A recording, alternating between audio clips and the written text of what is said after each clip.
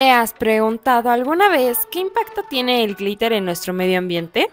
Aunque considerado solo elemento decorativo, estos diminutos trozos de metal y plástico están causando estragos en la vida acuática, disminuyendo la fotosíntesis y afectando la cadena alimentaria. La creciente conciencia sobre el impacto ambiental del glitter está generando la necesidad de encontrar alternativas sostenibles en la moda, la cosmética y la decoración. Su composición esencialmente es plástica, siendo la mayoría del glitter una combinación de aluminio y tereftalato de polietileno, lo que contribuye a millones de trozos de plástico esparcidos en vertederos y océanos. Es esencial reducir su impacto negativo en los ecosistemas acuáticos, considerando opciones biodegradables o medidas como la prohibición de la Unión Europea del 17 de octubre de 2023 para la purpurina y productos con microplásticos.